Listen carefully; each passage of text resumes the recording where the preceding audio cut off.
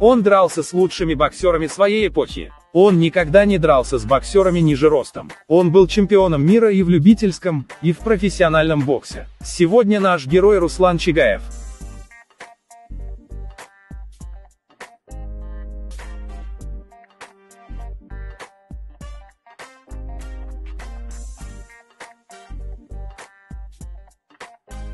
Руслан Чигаев родился 19 октября 1978 года в Андижане. Руслан тренировался в той самой знаменитой 50-й школе, которой воспитал олимпийских чемпионов и чемпионов мира. Руслан был невысоким, но все равно не стеснялся набирать вес. Когда гонял весь я терял силу удара и выносливость, поэтому почти каждый год менял весовую категорию, пока не добрался до самого тяжелого, говорил Руслан. В любительском боксе Руслан стал двукратным чемпионом Азии и двукратным чемпионом мира. Руслан единственный боксер, кто победил самого титулованного любительского боксера в истории, Феликса Савона. Руслан побеждал Феликса Савона дважды. Руслан смог победить Савона в возрасте 19 лет, а Феликс Савон на тот момент был двукратным олимпийским чемпионом. Два года спустя Руслан победил Феликса уже второй раз. После этого Феликса Савона никто не смог победить и он стал самым титулованным боксером в любительском боксе. Руслан Чигаев начал профессиональную карьеру в 1997 году. В начале карьеры он жил и тренировался в США. В 2003 году переехал в Германию на постоянное жительство. Немецкая школа бокса близок к советскому, поэтому Руслан там чувствовал себя уютнее. Чигаев в первой половине профессиональной карьеры часто оформлял нокауты. Поэтому ему дадут прозвище «Белый Тайсон». Так его будут называть на протяжении всей его карьеры.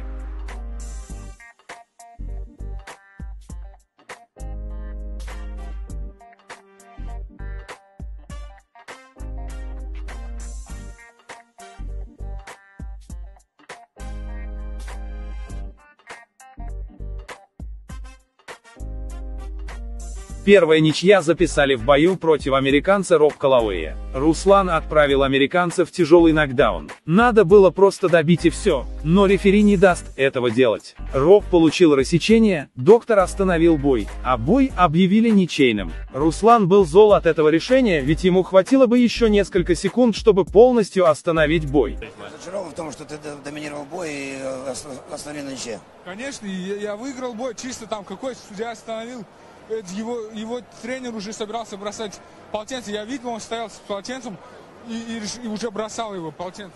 В этом же раунде завалил бы еще, есть время было бы чуть-чуть. Он его все-таки завалит. Четыре года спустя Руслан все-таки взял реванш и отправил американца в тяжелый нокаут.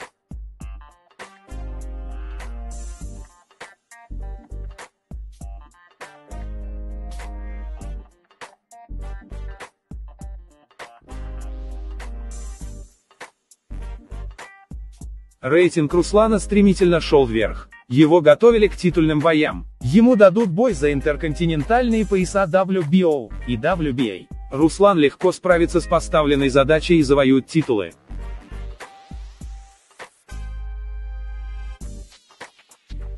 Но это не чемпионские пояса. Руслан хотел настоящий титульный бой. Он получит такой шанс. Он выйдет на претендентский бой.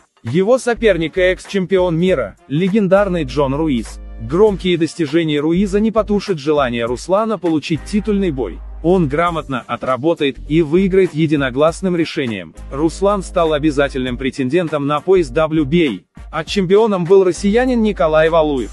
Чигаев понимал, что в бою ему надо будет войти в ближнюю дистанцию. Высокий Валуев с длинными руками, против самого маленького боксера тяжелого веса. Разница в габаритах просто огромная.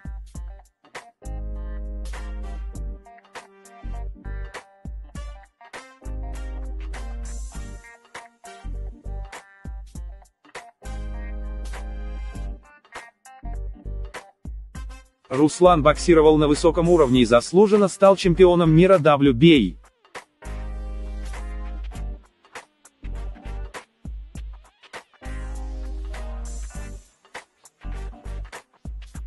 Чигаев два раза успешно защищает титул, а потом выйдет против Владимира Кличко.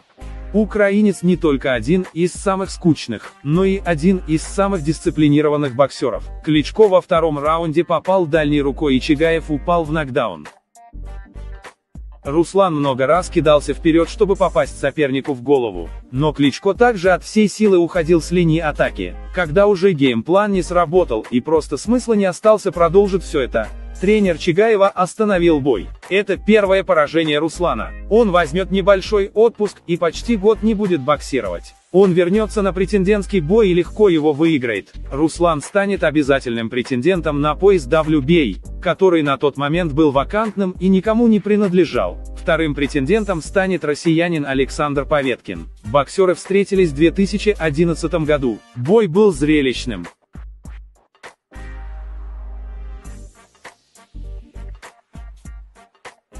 Боксеры наносили много жестких ударов, и оба были близки к досрочной победе. Но победителя выбрали судьи, которые присудили победу россиянину.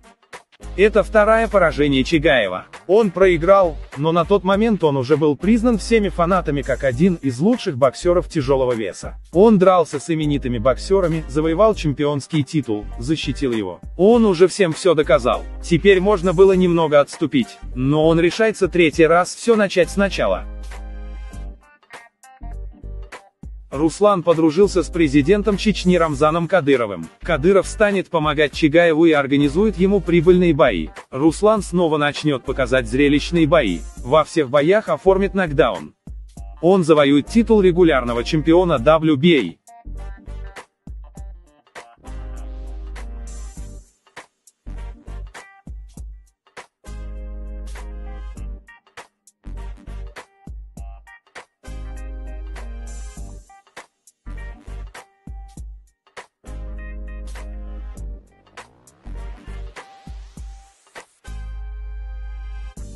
5 марта 2016 года Руслан встретится с австралийцем Лукас Брауном. Последний выйдет в замену другого боксера. Австралиец так спешил принять этот бой, что не успел очиститься от допинга и прочих стероидов. После боя у Лукаса обнаружат допинг и результат боя аннулируют.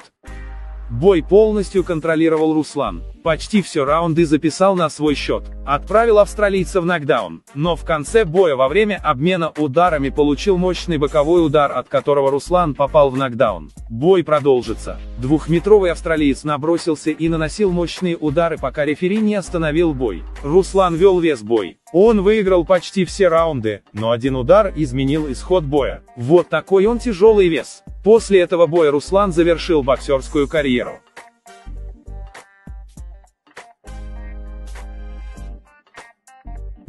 Очень яркая, успешная и результативная боксерская карьера Руслана Чигаева. Гордость Узбекистана. Гордость узбекского народа.